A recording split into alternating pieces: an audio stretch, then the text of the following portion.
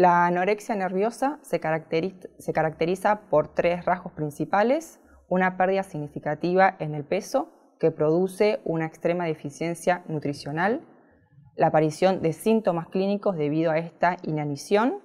Y la búsqueda de la delgadez y un miedo intenso a eh, ser obesos o aumentar de peso.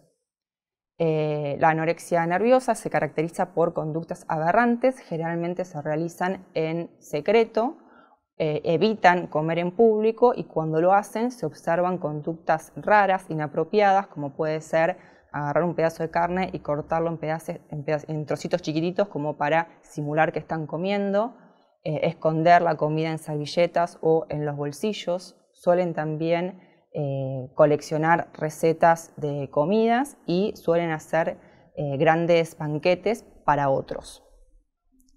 El inicio es alrededor de los 10 a los 30 años, aunque lo más habitual es entre los 14 y los 18 años. Es más común en las mujeres que en los hombres y eh, la prevalencia en la adolescencia es alrededor del 0,5 al 1%. En los países desarrollados es más común también y, junto con eso en las carreras en donde la, em, la, belleza es importante como puede ser en el, modelaje o en la danza. Este tipo de trastornos se lo asocia con depresión, con el trastorno obsesivo compulsivo y con la fobia social.